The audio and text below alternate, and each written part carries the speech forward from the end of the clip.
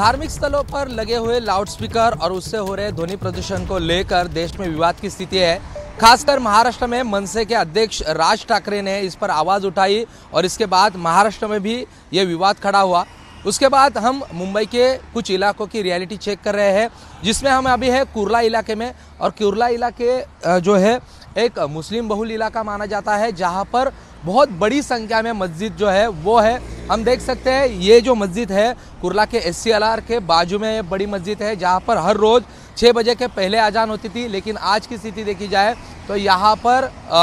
छः बजे के पहले किसी भी तरह के जो है लाउड स्पीकर का इस्तेमाल नहीं किया गया है। इसी दूसरी ओर देखा जाए तो दूसरी ओर भी एक मस्जिद है, जहाँ पर बड़े पैमाने में जो है, नमाज़ के लिए मुस्लिम समुदाय के लोग यहाँ पर आते हुए देखे जाते हैं। यहाँ पर हम देखे जाए तो यहाँ पर भी चार से पाँच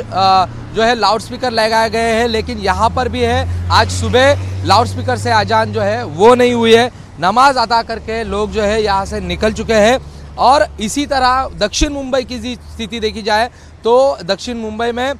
26 से भी ज़्यादा मस्जिदों के ट्रस्टी जो है वो एक साथ आए थे। उनमें एक बैठक हुई। और इस बैठक में उन्होंने निर्णय लिया है कि यहाँ पर जो बड़ी मस्जिदें हैं दक्षिण मुंबई के, जिसमें हरी मस्जिद हो या फिर मीनारा मस्जिद हो, इसी तरह की बड़ी मस्जिदों में भी अभी सुबह की अजान नहीं होगी। रियलिटी में चेक में आज हमने देखा कि कुरला के इलाके में जो है, आज सुबह अजान लाउडस्पीकर से नहीं हुई है और यहाँ पर जो सुप्रीम कोर्ट ने गाइडेंस दिए थे, उसका पालन होते हुए दिखाई दे रहा है।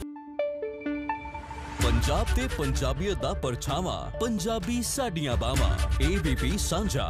ਹੁਣ ਦੇਖੋ ਆਪਣੇ ਟੀਵੀ ਸਕਰੀਨ ਤੇ ਟਾਟਾ ਪਲੇ ਚੈਨਲ ਨੰਬਰ 1929 ਤੇ